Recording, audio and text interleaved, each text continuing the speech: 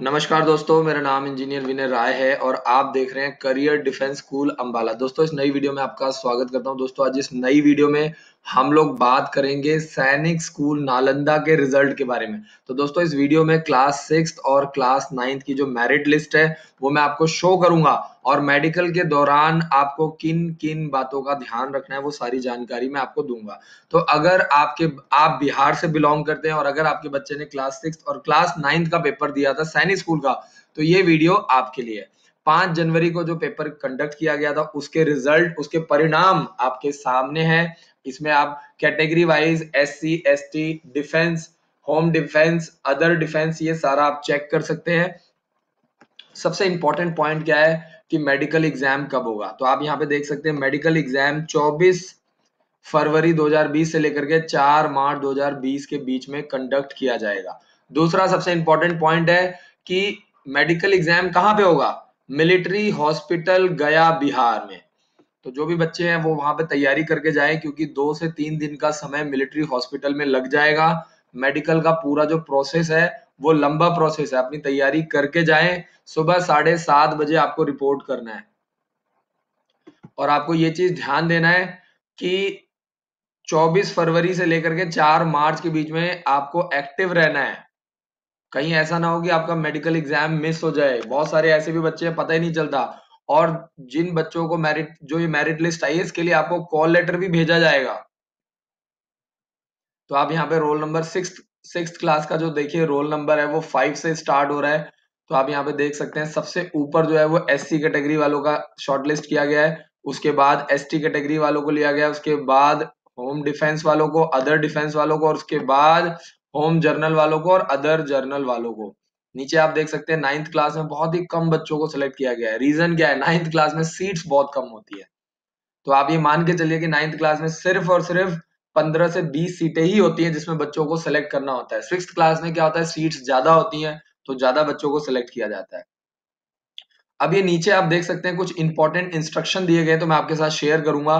जैसे यहाँ पे बताया जा रहा है call letter are being send to the short listed candidate individually by registered post यानी जो भी बच्चे सिलेक्ट हुए हैं, उनको रजिस्टर्ड पोस्ट ऑफ़िस के माध्यम से कॉल लेटर भेजा जाएगा। अगला पॉइंट क्या कहता है? जिन बच्चों को the school administration assume no responsibility for late non receipt of call letter by the individuals due to postal delay यानी अगर किसी का पोस्ट उसको नहीं मिलता है तो उसमें स्कूल की कोई ज़िम्मेदारी नहीं है, क्योंकि वो जो डिले किया गया है, वो पोस्ट ऑफ़िस के माध्यम से डिले होता है तो उसमें स्कूल की कोई ज़िम्मेदारी नहीं है। तो आप स्कूल के टच में रहेंगे तो आपको पूरा सपोर्ट मिलेगा। और आप seven four one double nine double nine double two eight पर भी कॉल कर सकते हैं। आप हमारे स्कूल का जो स्कॉलरशिप टेस्ट है, उसके लिए भी अप्लाई कर सकते हैं। 22 मार्च 29 मार्च और 5 अप्रैल को स्कॉलरशिप टेस्ट कंडक्ट किया जाएगा और करीब 60 बच्चों को फ्री पढ़ाया जाएगा। 2000 2019 में 31 बच्चों को फ्री पढ़ाया गया था 2020 में 60 बच्चों को हमारे विद्यालय में फ्री पढ़ाया जा रहा है। It must be clearly understood that since the number of candidates which is three times the number of vacancies are being called for the medical examination. इसमें ऐसा बताया जा रहा है कि आप लोग भी जानते हैं, देख सकते हैं कि जितने बच्चे हैं, जितनी सीट्स है, उसके अकॉर्डिंगली तीन गुना ज़्यादा बच्चों को बुलाया जाता है मेडिकल में अपियर होने के लिए। Appearing before the medical exam board does not confer guarantee admission यानी जो मेडिकल बोर्ड है, वो किसी भी बच्चे की गारंटी एडमिशन की गारंटी नहीं लेता है। सीट्स बहुत कम होती हैं, बच्चे बहुत ज़्यादा होते हैं तो इस तरह की जो बातें हैं, वो पेरेंट्स को भी समझनी है। The admission will be based on final merit list and subject to the medical fitness as per availability of vacancies यानी जो बच्चों को सिलेक्ट किया जाता है, वो फाइनल मेरिट लिस्ट के आधार पर मेडिकल फिटनेस के आधार पर और नंबर ऑफ़ वैकेंसीज के आधार पर बच्चों का चयन किया जाता है। फोर्थ पॉइंट समझते हैं the candidates of the candidature of the candidate will be cancelled cancelled in case of failure to appear before the examination board on the stipulated date and time यानी अगर कोई बच्चा अपने डेट और time से पहले पहुँचता है तो ऐसे बच्चे को मेडिकल बोर्ड के द्वारा कैंसिल कर दिया जाएगा, उनका एडमिशन कैंसिल कर दिया जाएगा। Next point the candidate could be ordered for withdrawal from the school even after the admission कोई भी बच्चा अपनी एडमिशन को एडमिशन होने के बाद भी अपने आप को विड्रॉ कर सकता है। If it is found that any stage at there any information detail submitted by the candidate parents and guardian अच्छा किसी भी बच्चे को, जो भी बच्चा एडमिशन लेता है, उसका एडमिशन एडमिशन होने के बाद भी कैंसिल कर दिया जाएगा। अगर कहीं पे पाया जाता है कि उसने जो अपनी जानकारी है, अपनी जो डिटेल्स है कैंडिडेट ने पेरेंट्स ने और उसके गार्जियन ने गलत जानकारी दी है तो अगर आप किसी भी तरह की गलत जानकारी देते तो आपका एडमिशन कैंसिल कर दिया जाएगा।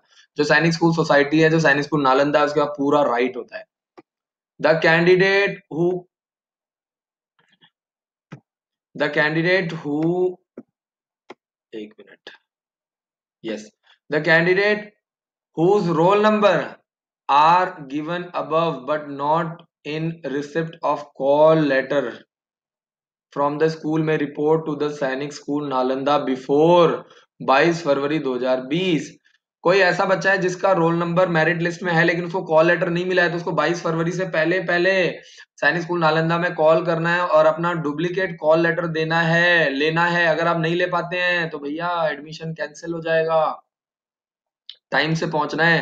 Candidate are advise to present them before medical board in best medical condition तो कैंडिडेट्स को ऐसा एडवाइस किया जाता है कि उनको मेडिकल बोर्ड के पास बेस्ट कंडीशन में, यानी पूरी तैयारी बेस्ट कंडीशन का मतलब क्या है कि आपका प्रॉपर डॉक्यूमेंट्स होने चाहिए, आपके आईडी प्रूफ होना चाहिए, आपका डेट ऑफ़ बर्थ सर्टिफिकेट होना चाहिए, जो आपका एमसी से रिकॉग्नाइज्ड होता है म्यूनिसिपल कॉर्पोरेट से रिकॉग्नाइज होता है तो आपको पता होना चाहिए। The result published in subject to verification with the official list held within the school. Any unutilized vacancies in the other state quota. अगर मान लीजिए कोई अदर स्टेट कोटा की सीट खाली रह जाती है तो उसको सेम स्टेट कोटा के स्टूडेंट को मेरिट लिस्ट के अकॉर्डिंगली दे दी जाएगी। तो ये सारी जानकारी मैंने आपको दी थी सैनिक स्कूल नालंदा, बिहार की। आशा करता हूँ कि आपको ये वीडियो पसंद आई होगी।